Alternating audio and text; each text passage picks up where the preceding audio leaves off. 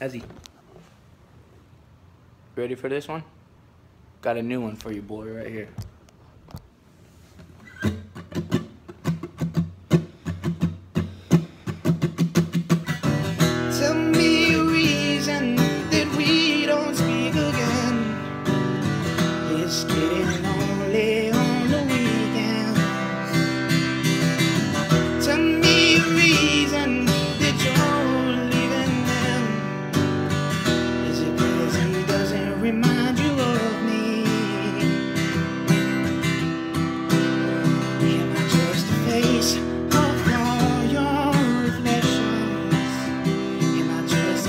Peace.